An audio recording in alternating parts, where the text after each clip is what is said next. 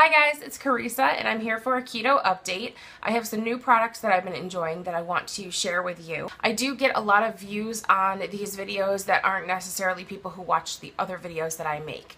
I do only count net carbs and I try to stay under 30 daily, but I really don't stress too hard about it. I do take cheat days. Um, sometimes they're planned, sometimes they're not. Sometimes I do really well all day and then I get thrown off at dinner or with plans with friends. That's not to say that I'm not trying, but in my opinion, this is something I want to do long term. And it took me several years to put on the weight that I'm in, so I'm okay with it taking me a few years to come off.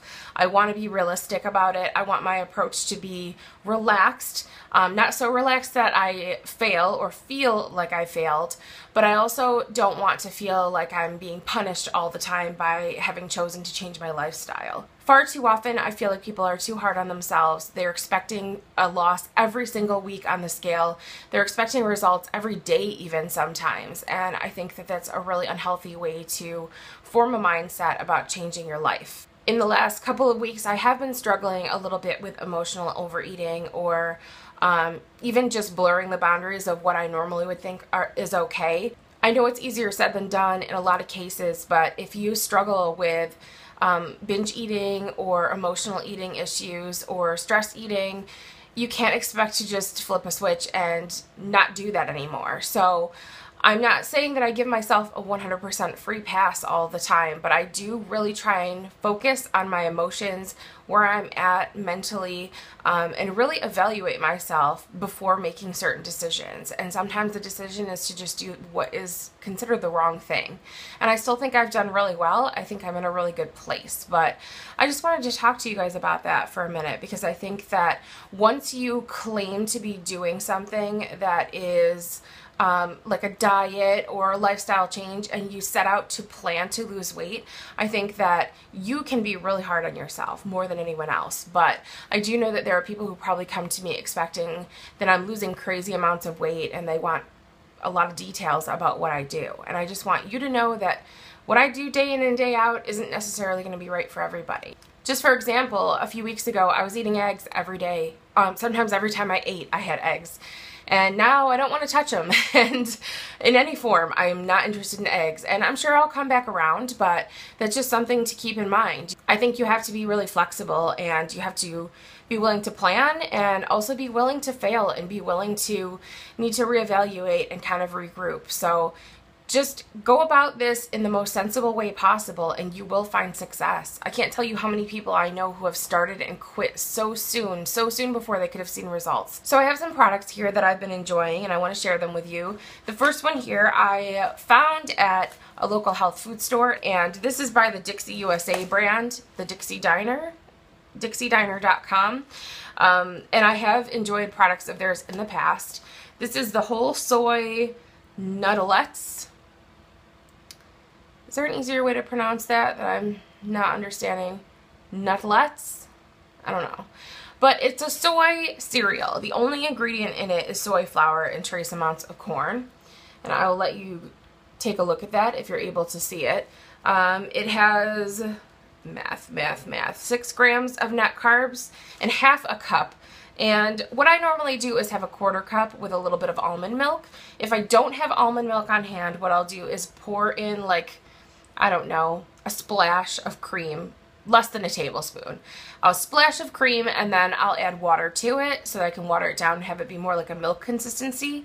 I prefer to have almond milk on hand because even though it's my least favorite of all the milks, it's the only one that I can get in a small container that isn't being flavored or having sugar added to it so that it's good for children or more appealing to children.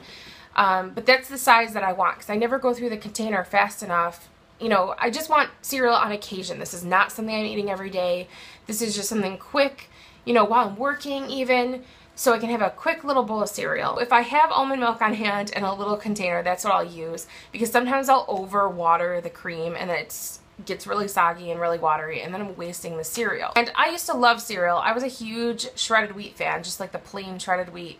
I was actually a, big fan of all of the super bland cereals. That was my favorite. In fact, Crispix was my ultimate favorite and it was even the littlest bit too sweet for me. So this is good for me. If you're the kind of person who really liked, I don't know, Lucky Charms or something, you might not like this, but um, just the act of eating cereal almost is so comforting to me and I don't know, it, I enjoy it. Next is pumpkin seeds and these I purchased this is a repurchase. I received these in a keto crate and I love them. I love that they're spicy. I also have the just plain dry roasted ones here. Um, and they're good. They're a good substitute for when you want nuts and you don't want something like peanuts or something that's too high in carbs. But it is almost pumpkin season. So I will be roasting some pumpkin seeds. I know that they are a little bit higher in carbs with the shell still on them, but that's how I prefer them and I don't care. I would rather have less of them and be able to enjoy them how I like them. This has been one of my new favorite things. It's very filling. It's not so fun to eat. I always feel like I should brush my teeth afterwards.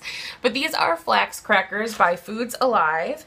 And these are basically just flaxseed with liquid aminos and lemon juice just very small amount, made into crackers. Here is some of the information on the back. It is technically zero net grams of carbs for five crackers. I never eat five crackers though. Just to give you an idea, this is about the size they're usually in, but they are broken up. They're not like a perfectly shaped cracker. So for me, what I do is I take a cracker like this. I'd either leave it whole or break it up in a couple of pieces and put peanut butter on top of it, just a thin layer of peanut butter. And I have been still really liking this natural peanut butter that's just fresh ground unsalted peanuts. And then I'll usually sprinkle some of these hemp hearts on. Uh, technically, these say that they're one gram of net carbs for the entire package. And even though this is, is the little small two ounce package, I don't, I can't picture myself using a whole package of this at any point at once. But I still do count what I add to my crackers as a carb. I always kind of overshoot it, and I know there are people who would not want to do that, but that's just how I feel com comfortable adding. I'm bad at math also, so P.S. That's just... I think the fact that it's really crunchy is very satisfying, and I like the texture of the little seeds. Um, it's something I can really take my time to eat, and then I like to flush it down with water afterwards, and um, drink a lot of water usually after, and I just think that that's win, win, win, win, win all you know, don't know how to wrap up this statement. The last thing I've really been loving is this No Cow Bar by D's Naturals. This has nothing artificial, no GMO, it's vegan, low carb, no sugar added, gluten, dairy, soy, and lactose free.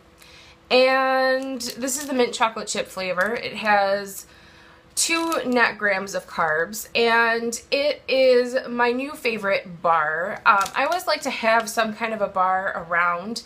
Quest bars are kind of a no-go anymore because they do sort of make me feel like I need to keep eating afterwards. Even sometimes I would feel like I wanted to eat another Quest bar immediately after finishing it and I just don't think that that's an okay reaction to have to anything. This does come in two other flavors. There's a peanut butter or something, peanut butter chip or something, I don't know, peanut butter and blueberry. And I did not care for the blueberry. It was super gritty and grainy tasting to me. Um, and the blueberry flavor was really fake, which is fine because I love blueberry flavored coffee. You know, that really fake, like, blueberry chapstick flavor almost. I get the blueberry coffee at Dunkin' Donuts all the time. I love it. But the bar, unfortunately, the texture bothered me.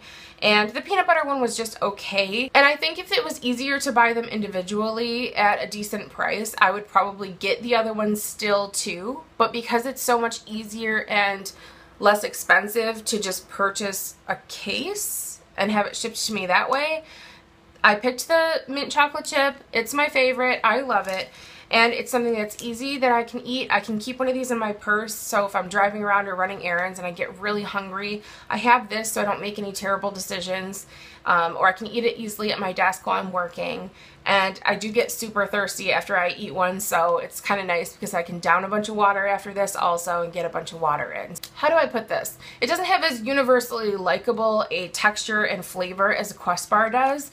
Quest bars are very candy bar like by comparison but I actually prefer this. I like this a lot more. So that's pretty much it you guys. Thank you so much for watching. Let me know if there's anything you've been loving lately and I will talk to you next week or the week after. Let's keep this casual. Bye.